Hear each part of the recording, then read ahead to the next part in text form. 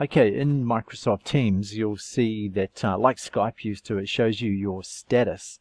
Um, now, on my profile image here, you can see there's a little red circle with a negative sign in it. That is the symbol for Do Not Disturb. So I'm just going to show you how you can change your status so that people can see um, how available you are. So there's three different ways to do that. I'm going to show you each one because you'll find one of them easiest for you. So if you click on your profile photo up the top here, you'll see straight under your picture status here, do not disturb, which is set for me. So if I hover on that there, I can then scroll over here and I can choose any of these statuses that, that are available to me. So um, I'm on do not disturb. Currently, I could change that and say that I'm available.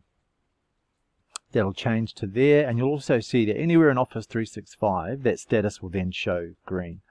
That's one way to change it. Another way if you see the Teams icon down in your quick launch bar down on the right here, if I just right click on that, my status, I can change it from here. So I'll set it back to do not disturb because I'm recording this here.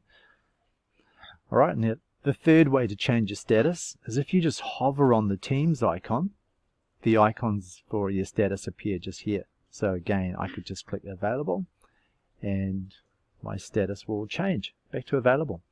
So that's it. That's how to change your status. It's useful, um, shows people just where you're at at a glance.